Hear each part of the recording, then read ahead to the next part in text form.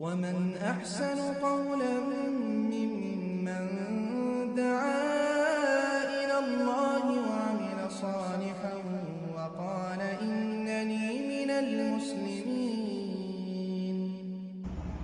ওয়ালাইকুম আসসালাম রহমতুল্লাহ বরকাত জি নাকে ড্রপ দিলে তো যদি নাক দিয়ে তো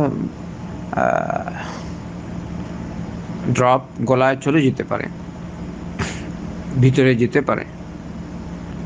এমনি যদি শুধু নাকে একটু ড্রপ দিল, এর কোনো কোনো রকমের স্বাদ উপভোগ না করে তাহলে শ্যাম ভঙ্গ হবে না।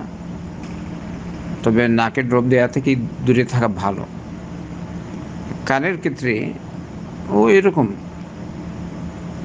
শেখ ইবনে বাদ রহিমউল্লাহর ফতোয়া দেখলাম, তিনি বলছেন না দেওয়াটা ভালো। কিন্তু কানের ক্ষেত্রে কোনো অসুবিধা নেই যে মানুষ দেয়। কানে ড্রপ দিলে, নাকের ক্ষেত্রে তো সরাসরি মানা এসছে। যেমন আল্লাহ রসুন সাল্লাহ ইসলাম বলেছেন ফিল ইস্তিনশাক। বলেছেন ওবারিক ফিল ইস্তিনশাক ইল্লা আন্তাকুন সাইনা নাক ঝাড়তে সময় একটু টেনে, বেশি করে টেনে তুমি নাক ঝাড়বে পুজোর সময়। তবে যদি সায়েম হও, অর্থাৎ সায়েমের অবস্থা এরকম করবে না, হালকা করে নাকে পাড়ে দিবে। তো নাকে ড্রপ দিলে যদি নাকের নাক দিয়ে স্বাদ উপভোগ করা হয়, তাহলে এই অবস্থায় শ্যাম ভঙ্গ হয়ে যাবে।